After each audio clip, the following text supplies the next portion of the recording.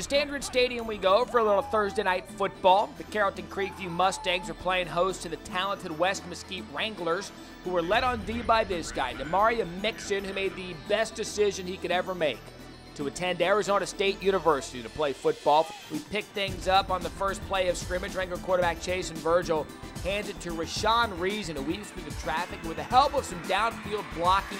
See you later. Before the fans could even sit down with their hot dog, Reason houses it from 92 yards out, and really not a bad way to start the game there. Then on West Mesquite's next drive, this time they try it through the air. Virgil drops back, finds a wide open Killian Butler down the middle. He walks in from 25 yards out. Wranglers cruising at this point. Back comes Creekview, fourth down play.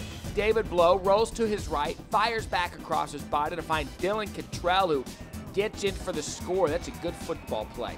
Creekview and Blow looking for more through the air, trying to hit Dobbs again, but West Mesquite's Will Early there for the INT.